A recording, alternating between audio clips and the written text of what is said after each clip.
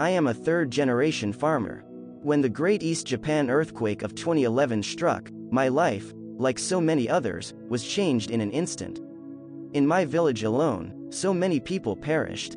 The young man I was training to be my successor on my strawberry farm also fell victim to the tsunami. I often asked myself why I survived, while others died. Alone in my salvaged pickup truck, I'd cry every day. It was around then that I read a message of encouragement from Daisaku Ikeda, in which he stressed that life is eternal and that our lives are connected through prayer, which transcends life and death. His words resonated deeply within my life. A week after the earthquake, I went back to my strawberry farm. There was nothing but sand covering the land. The farm was gone, and our house had also been wiped out. The town of Watari had depended on strawberry farming for its economic survival, with average annual sales of about $31 million. The complete destruction of the strawberry farms meant total ruin, not just for the producers, but for the entire town. The evacuation center became a place filled with the grief of farmers who had lost all hope. The feeling of despair was so strong it overwhelmed everyone's minds. Farmers eventually began taking temporary jobs.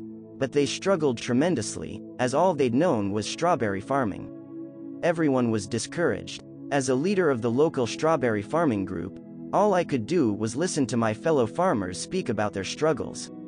I'm sick of being ridiculed at work for not knowing how to do my job. If only I could go back to growing strawberries again. Everyone felt the same. What could I do to reinvigorate my friends? My heart was filled with this thought. I employed my Buddhist practice, chanting in earnest, as though to produce fire from damp wood, or to obtain water from parched ground. One day, I stood on the sand-covered land where my strawberry farm once flourished, a gentle sea breeze dancing around me. That natural breeze was what made the strawberries grow so well, protecting them from the intense summer heat. At that moment, I was struck by the thought, perhaps the soil is now rich with minerals from the sea that were carried inland by the tsunami. I immediately planted three strawberry plants.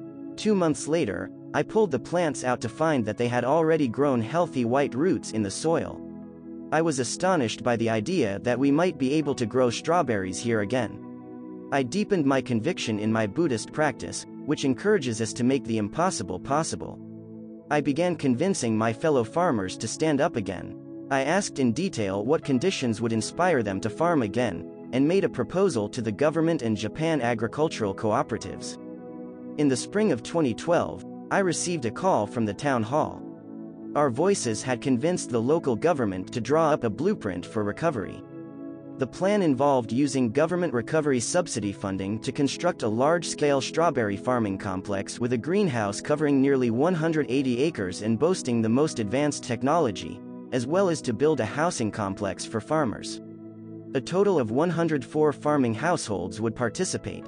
Unexpectedly, I was nominated for the position of president of the Owners Association. I declined, but the young farmers urged me to accept. President Ikeda is always encouraging us to listen to the youth, so with this in mind, I decided to take on the challenge.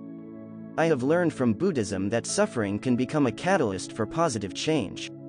For those of us who have lost everything, failure in this new project is not an option. I'm determined to work hard so all involved are able to say they are glad to have joined the Strawberry Housing Complex, and that together we will become the number one strawberry producers in all of Japan. Thank you.